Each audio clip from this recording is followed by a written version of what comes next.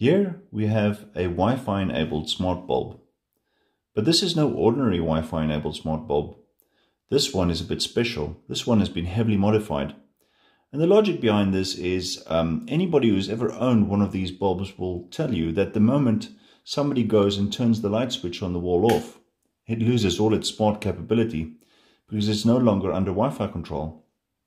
And it's very much a dead bulb, no longer smart. So I aim to change this by doing some modifications to this bulb and I'll share them with you in this video. So here we have a little test setup of a smartphone that can control the smart bulb over Wi-Fi and a light switch wired to the uh, smart bulb. So ordinarily um, you have uh, Wi-Fi control so you can turn the bulb on and off via Wi-Fi. But look what happens when I turn the bulb off with the light switch. In theory, the power to the smart bulb has been cut, so its Wi-Fi control has been disabled. So you shouldn't be able to control it uh, via the um, smart app at all. But you can, because my modification. So the reason for this is I've done something special to the bulb inside, and we have a diode that lets the half wave pass through to the smart bulb, and this gives it power to operate even in the off position. Now in order for your smart bulb not to be disabled by the light switch in the off position and its power has been removed, um, we need to find a way to power the smart bulb even when the light switch is in the off position. And there's a way to do this. I have previously done this with my um, Shelly 1 hack and you should really watch the video about this. Um, what this does is it allows you to put your Shelly 1 right by the light fixture itself even if you've got no neutral uh, behind the light switch. Um, but that also means that I could possibly take the guts out of my Shelly 1 and my little opto hack circuit and put it straight into the light bulb itself. So uh, let's have a look to see if we can do that. So with the diode connected across the light switch, our light bulb will either be powered by half wave DC or full wave AC, depending on the position of that light switch bridging out the diode. Um, now all we need now is a, a little circuit locally by the light bulb that detects the difference between half wave DC and full wave AC and this is our trigger to trigger the smart bulb to come on and off. So let's open up the smart bulb and look at the internals to see how we could hack this and um, how we can interface with the, the components inside. The first thing that we see is the LED driver board um, with its uh, driver chip. And this operates basically directly from rectified mains voltage. It's completely self-contained. Just below the LED driver board, there's another board that plugs into it. And it's essentially just a power supply that takes the mains voltage and um, supplies a 3.3 volt uh, to a um, Wi-Fi module. And this Wi-Fi module uh, just uh, generates PWM dimming signals to, to, for the dimming function of the main LED driver board. My initial thought was that I could um, write some firmware for the Wi-Fi module to accept the input from my opto isolator uh, trigger circuit. Uh, but since I'm absolutely rubbish with writing software, I thought that the Shelly one was essentially the same thing as the power supply board it was a um, 3.3 volt power supply and a um, ESP8266 Wi-Fi module all in one. Um, the only extra thing it had was a relay driver. Now even though the Shelly one is an incredibly small device, it's still much too big to fit inside the casing of the smart bulb. Now since we didn't need the relay um, because we could use the logic from the Shelly one to drive the PWM signal for the um, LED driver board directly. We could um, unsolder the relay and get rid of that. We could also remove the terminal screws and we could remove all the header pins and see if we could trim the board down so the whole board is small enough to fit inside the bulb directly. Using a Dremel tool, I carefully removed all the parts of the PCB that weren't necessary um, this included removing uh, the terminal screws and some of the header pins and also um, some of the components that I could relocate somewhere else. For example, the fusible resistor and the metal oxide varistor, they could be used to protect the entire lamp and not just the Shelly one from the incoming supply. Now the end result wasn't pretty, but then again it doesn't have to be, it just has to fit inside the lamp casing. I'll put a big piece of heat shrink sleeving over the whole lot and shrink it down for insulation and protection. Since I didn't have any screw terminals, I had to attach wires to various points on certain tracks and also create the odd wire link. Now let's get back to the LED driver board. It has two um, PWM dimming channels for the warm white and the cold white LEDs. Now since we only have one IO pin on our Shelly 1 that we're going to use to just turn this panel on and off, Instead of using PWM, it's just going to be a full on or full off signal.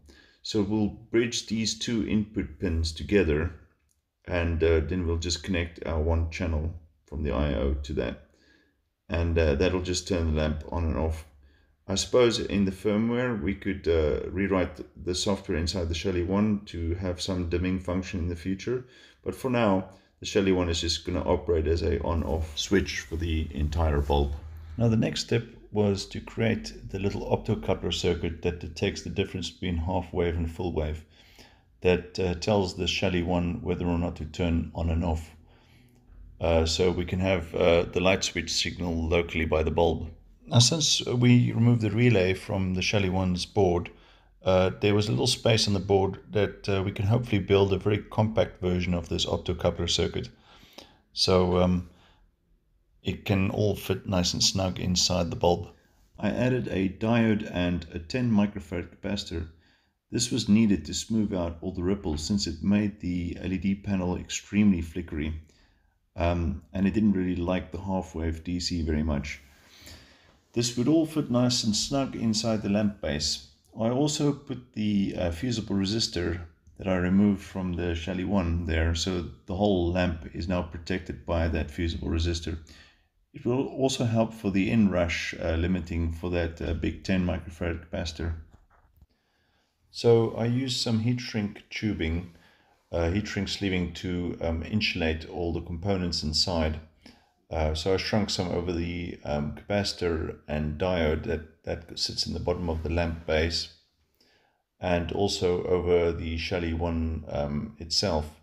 Uh, but the heat shrink tubing sort of left the opening at the bottom and the top of um, of the two components. So I put a bit of tape just to cap that off. It probably wasn't necessary, but it's, you know, it's just belts and braces really, just to insulate everything properly. Um, there's another problem that I encountered as well. Um, since the uh, whole lamp, the, the plastic base part of the lamp is actually aluminium on the inside and the um, LED panel is aluminium as well.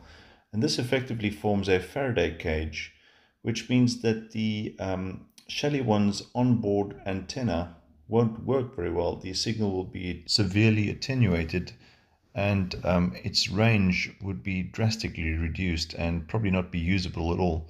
So what I ended up doing was um, soldering onto the board uh, a little bit of wire and uh, poking it through the LED panel so that uh, it sticks into the dome bit of the LED bulb uh, about an inch and um, I'm no expert on um, antenna theory but it seemed to work fairly well and the range wasn't uh, any worse or any better than the original unit. So the capacitor and diode will have to fit into the lamp base and I think there's just enough room for it to fit comfortably in there. I've attached the live and neutral uh, wires and they've been tinned with some solder and the, the neutral is trapped by the screw um, metal screw case and um, the live pokes out through a little hole and there is a, a little metal pin that just pushes in and traps that wire. This is how a lot of these LED lamps are constructed but it makes it relatively easy to dismantle and it makes it quite hackable as well. I trimmed the antenna down to about an inch um, I don't know if this is optimal, but it seemed to work fine, so I'm sticking with that. So now it's just time to add a bit of super glue adhesive just to firmly attach everything together. Um, and um, that will also help to keep the dome in place. And then I'll add a bit of um, heatsink compound so that the heat from the LED panel is uh, nicely synced away to the uh, casing. Now it's a good idea to glue the dome since um, the LED panel in front is effectively live at mains voltage. So let's pop the dome back on and that's it, job done. Let's give it a test. So here we have our um, modified smart bulb all completed and put back together. Uh, so now we can just screw it into the lamp socket base.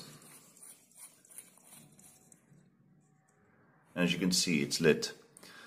So uh, the switch uh, is in the on position. And um, what we have on the switch is our diode and um, it's just straight across the switch contacts and it's in a bit of uh, sleeving to protect you from any nasty surprises when you touch it. And um, now, in theory, I could turn it off with the light switch. And if we get our Shelly One app, the Shelly Cloud app uh, ready, and we allow it to connect to the bulb, now we should have uh, smart bulb control from the Shelly Cloud app directly. And we can turn it off with the switch as well. And we should still retain our um, Wi-Fi control. And as you can see Wi-Fi control still works even though the switch is in the off position. Technically there is no on off position it's just a, the switch is just acting like a trigger so it's just in half wave or full wave mode and either one of those modes can trigger the switch to um, to have the light come on and off. But uh, ideally in the future, I don't think I want to put uh, a Shelly one directly into into the bulb. Um, it was just uh, my easy option now. But uh, I think um, what we could do is uh, we could put our little optocoupler circuit straight into the bulb and have it trigger the little Wi-Fi module that is already inside the bulb. We just need to rewrite some of the firmware so it accepts a switch input. Um, unfortunately, I am quite rubbish with writing firmware, and I know there's a whole community that do the ESP8266 or ESP8285 um, uh, chipsets, and people like to uh, write new firmware for them. And maybe somebody can help me with that in the future, and we can do a much simpler version of this bulb rather than this big elaborate um, uh, hack that I did. But uh, anyway, if you like this video, uh, please leave a message in the comments uh, if you think this was completely over the top or if it was interesting or if you'd like to see more. I have some other ideas um, and uh, I've actually made another smart bulb um, using a completely different uh, technique where I used, I simply replaced the Wi-Fi module with the one from my smart socket and I think that probably is going to be another video. Anyway, thanks for watching, and uh, I hope to see you on the next one.